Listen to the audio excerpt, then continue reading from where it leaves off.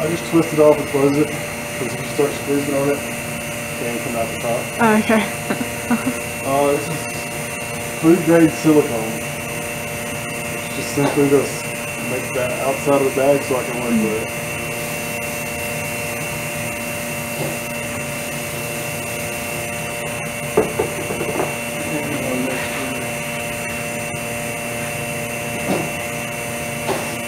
We have our hoods for our exhaust fans. Just make sure we know we're on. Um, the switch is over there and that's what's been working right now, but they all still work, so most of the fumes and everything goes out of the building, so you don't smell it, you know, as soon as you open the building. I'm sure you probably smell Yeah. many different, the the glue smells, the resin smells. Um, we try to keep as much of it outside as possible. Yeah. And so, essentially all, all it's doing now is pulling vacuum, so it's going to pull the liquid down. Okay. You want to get all the air out of it, so you don't want to work too fast, but you got to work somewhat fast, especially when you set it off a little bit harder. Um, I know that I've got a lot of, you know, cloth up here. And It's kind of, you know, just getting all the air out of it. You want to make sure that if there's any air in it, then right now at this point you want to pull it up. It's, it's just air and water pretty much, so it floats to the top. And so just kind of you know, you move that stuff around. You need it to go down inside that white piece. Um, it does that for two reasons, to help fill up the space for the lock. It makes it tighter. And then uh, just another one is if you see the color in there, then you know you've got it tight enough to where it needs to be. So I'll let it sit for just a minute. And just the vacuum works on its own. And that, what start doing. just start going around, kind of working it down. Some people do it different ways. They usually start out with just their hands.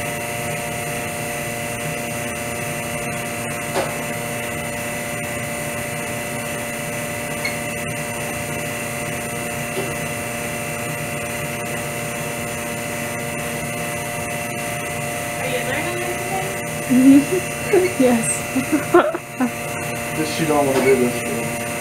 But she don't want to do this for No. No. So the same thing, letting the air, vacuum pull the air out.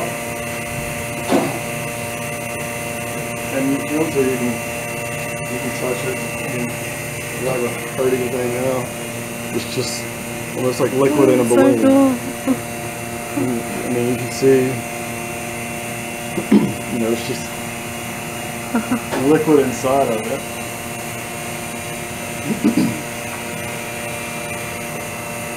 and what I'm doing now is part of it's pulling the air out of it, but just pulling the, my resin down because I know my trim lines are going to be down here, and so I need to have the resin in that. Mm-hmm. And so I pull it down so I got it just past my trim lines. I don't want a whole lot past my trim lines.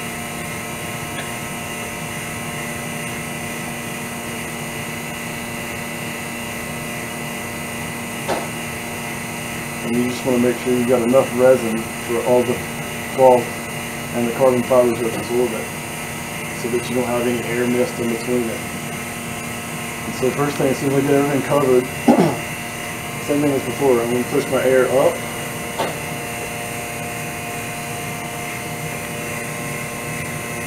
and any extra resin goes up with it.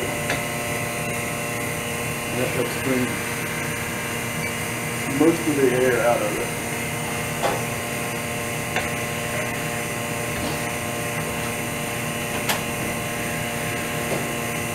I know it's cold, but sometimes it's back over here, it's hard to see. And well, Uh. you won't be able to see it with the camera, but if you want to look at it, this little spot Mhm. That's air getting into it. Oh. And see, I can push it up, and it comes right back. So oh. that tells me one of two things: either I've got a hole in my bag. Usually, if you've got a hole in your bag that's sizable enough, you can pull the resin down, and it'll actually come out of the hole. It can be a pinhole that the resin just won't come out of, but it's still enough to suck air in. It can be in the, in the inner bag, or it can be in the outer bag. And I'll give it just another minute to see what. Sometimes you can just have, yeah, it's coming back. So we've got vinyl tape. it Sticks to the PVA bags pretty well.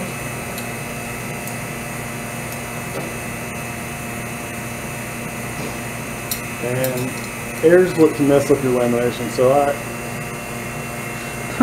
I tend to put tape anywhere I see air. hopefully,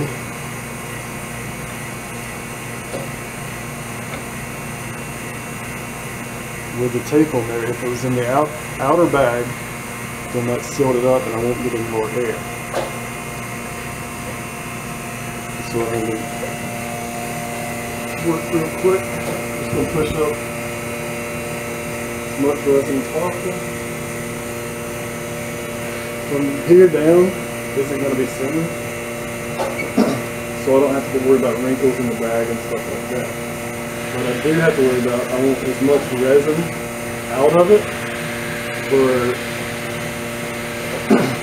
reasons from weight to it'll be cosmetics later on because it will be inside something we'll have to finish.